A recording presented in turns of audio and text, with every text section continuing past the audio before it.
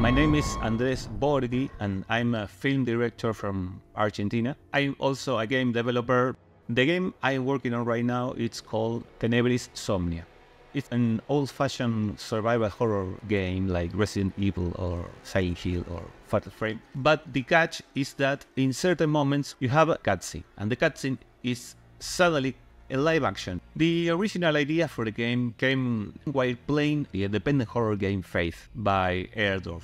And I said, okay, let's do like a Nintendo game and a movie. In every horror movie, every horror game, when you see the monster is a bald guy or girl, big teeth, I mean white eyes or black eyes, naked, very thin, very tall. It's always the same. It got to be a cliche. So we have to really th- think how to make things different and unique. Uh, so what you are seeing right now is the behind the scenes of the filming of the live action segments. When you make real film, you make the whole thing. You have the beginning, the middle, and the end. But here it's like you're filming small parts of the story, separated, and the thing that glues them together is the game, the gameplay. I really have to be sure of, of what I'm making because I'm kinda the only one that really understands what's going on in the shooting.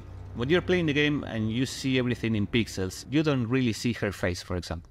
And suddenly you see the actress in like real close up. It makes you want more. At the end of the thing, it's a love story. Anyone can understand. There's magic, there's monsters, but the important thing is that you understand the love story, and anyone can understand a love story.